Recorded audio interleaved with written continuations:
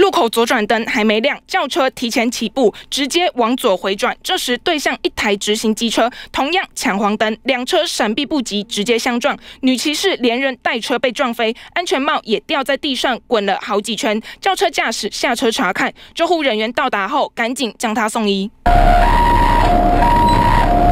还好，女骑士伤势不重，送医后没有大碍。事情发生在彰化七号晚间八点多，轿车回转，结果和机车撞上。当地民众说，这个现场车速都很快，大小车祸不断发生。咱金马路这大条路，啊，所以讲大速度拢紧。那双方九测为零。那汽车驾驶的部分，哦，为一号志转弯哈。那机车骑士的部分哈，是黄灯哈。那通过路口哈，那有路权没有违规的情形。同一地点，两个礼拜前，银色轿车从内车道没打方向灯，直接右转，撞上直行的十九岁郭姓男骑士，导致他连人带车被撞飞，在地上翻了两圈，差一点就被后方汽车碾过。男骑士速度想要站起来，但又被撞到全身无力，跌倒在地。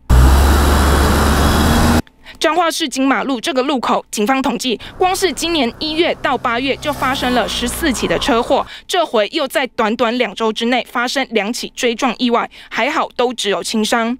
记者陈胜伟、杨静、魏宇文彰化采访报道。